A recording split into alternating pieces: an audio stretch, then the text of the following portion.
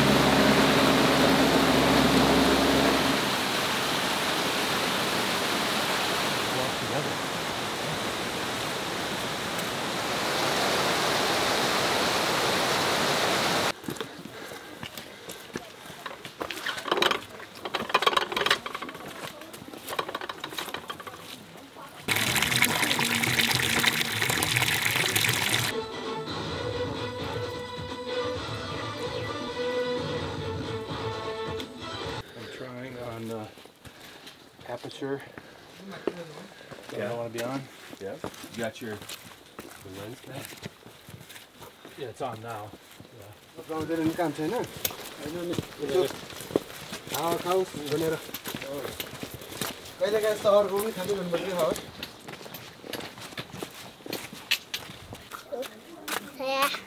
The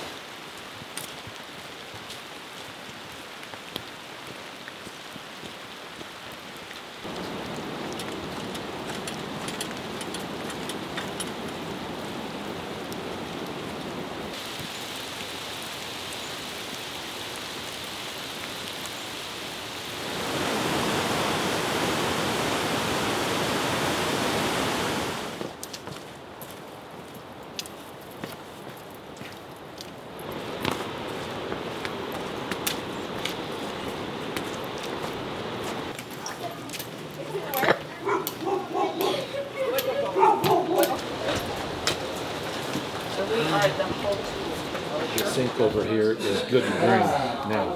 I don't know. I'm, I'm the storm, before the rain hit, or were you in it? I'm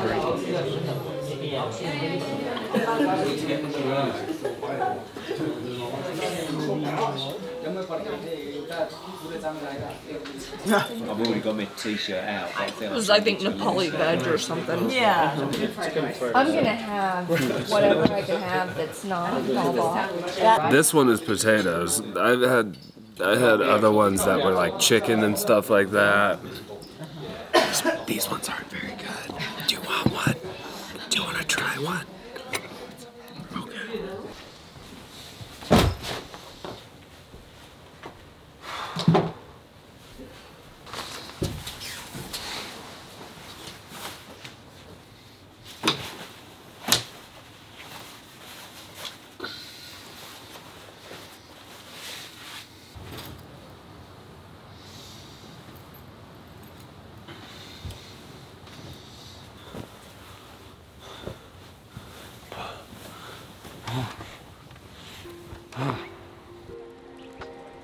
So, here we are. Welcome to Nepal. Morning of day two, we are in Paking. I believe that's how you say it. We're here at the end of monsoon season, um, and it's monsooning. Hopefully, we can get lucky with the weather because, um, as of now, I don't even know if we'll be able to see Everest when we make it there in a week's time. But today we're heading to Namche, which is gonna be a pretty tough, pretty tough day. We're with a company called Adventure, the Great Himalaya Treks and Expeditions. So Nanda, our guide, and our porters are, are all supplied to us through that company. It's amazing how, how cheap, if you can get here, one of these treks is for all the guides and the meals and the tea house stays cost about 1300 American dollars so it's just it'll take you you know a few days but now we're here welcome to Nepal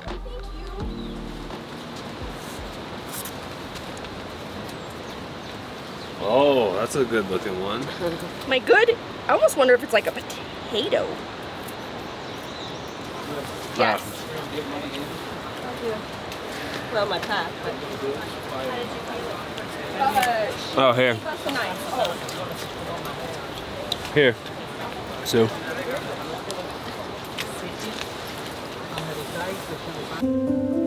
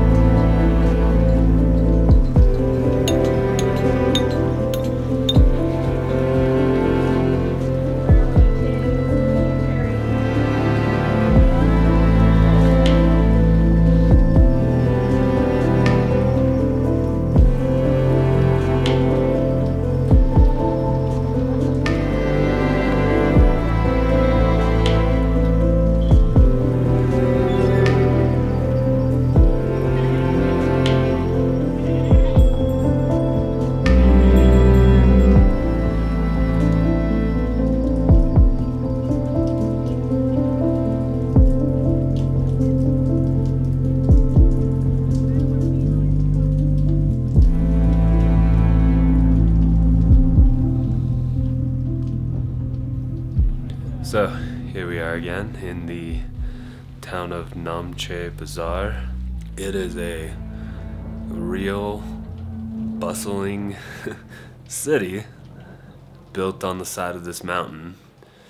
All the trekking clothes that we pay REI a bunch of money for, the Nepalese just have warehouses of it here. So I was wondering why they don't wear ra- rain gear they go for the umbrellas. And it turns out that in a monsoon like this, your rain gear does nothing for you. You are you are getting wet. So I see now why they choose umbrellas over uh, very nice rain gear.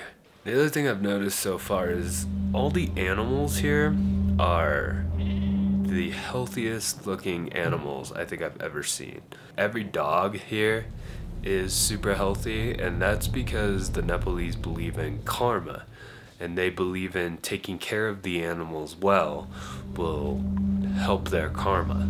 So, actually, during COVID, um, people made sure to get out and feed the dogs. And I think we're here in Namche for two days to get acclimated to the altitude, so hopefully we see a little bit of it because right now we are in the cloud and uh, eventually we'll get above them.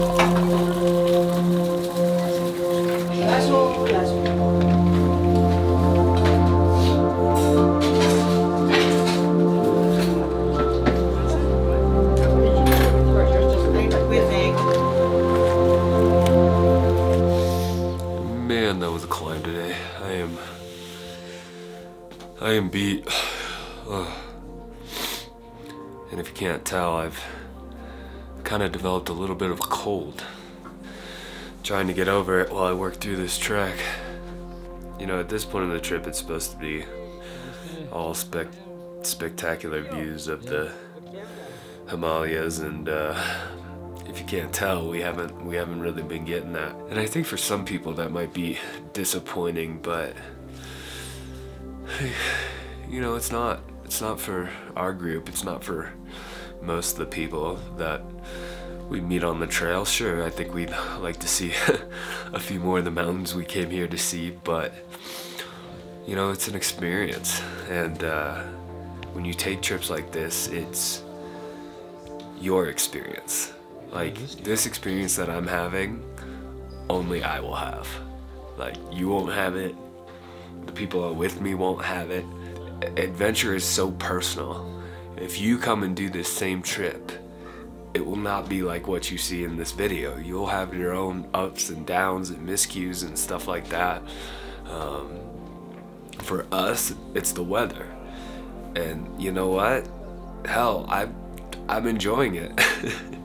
it's fun to have to try to get above the cloud cover to, to you know, reach our goal. It's almost like we're we're chasing Everest instead of just having it handed to us.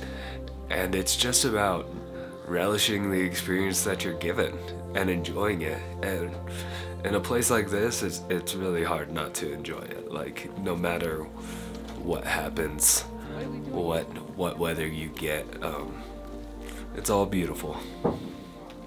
But of course, if I come all this way and I don't see Everest at all, I will be pissed about that.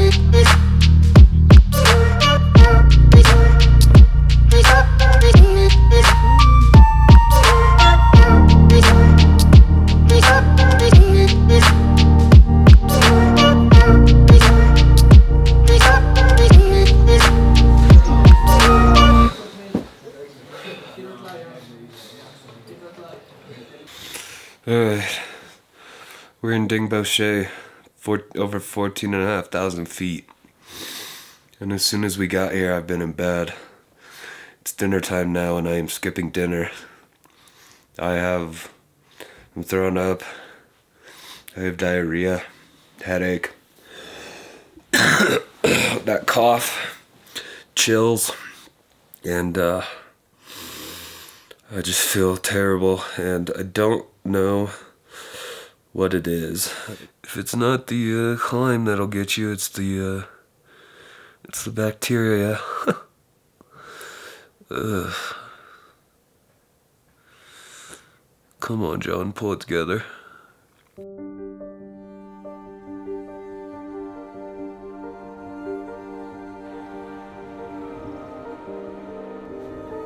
Well, they haven't evac'd me yet. Um, things got really hairy yesterday. They actually, I was told this morning that our guide Nanda had an evacuation plan in place in case I didn't pull through last night, but I spent 14 hours in this bed The altitude is, is no joke here. We're only at 14 and a half thousand feet. I got really lucky. You know, my hubris almost cost me this trip. It wasn't that, it's not that I'm not in shape for this or ill prepared. It's, it's that I think nothing will get me, that I can hike as, as fast as I usually do, go as hard as I want, and nothing will happen, but um, that's not the case up here. It's this altitude is the great equalizer. I actually read that 50% of trekkers will get some kind of altitude sickness above 13,000 feet, and um, I guess I'm part of that statistic now. This is no joke. This trip, I mean, I thought I'm I I'm gonna be honest. I kind of thought it'd be easy, easier. Um, I kind of thought any guided trip would just be easy. I mean, I go into the wilderness alone. How hard could it be going from town to town with a guide and a porter? And um, boy, was I wrong. This is this is this is very hard. This is hard. This is elevation that you won't see. There's germs and bacteria here that you've never experienced. There's altitude like this that no matter how hard you try to train or prepare yourself back where back at home unless you're you actually live here you you won't there's no preparing for it. So definitely if you do it uh, have more humility than I started this trip with and and know that these mountains conquer most and better than me. So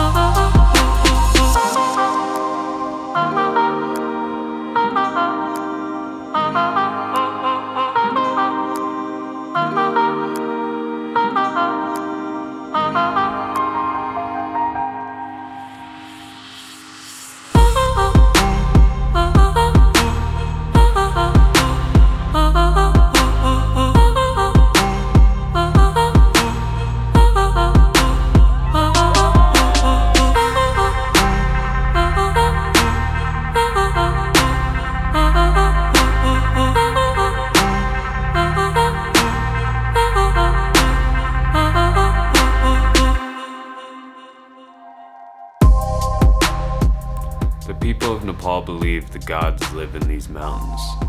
And it makes sense if you want to visit a god that it would take everything in you to get there. In the end, those mountains took one of ours. But as we left and started the four day journey back down to Lukla, I felt like they blessed us with something. With superpowers that only long, hard days at high altitudes can give you. With peace, with understanding. I don't know if I'd call the trip fun, but satisfying and special, for sure. Thanks for watching, and we'll see you next time.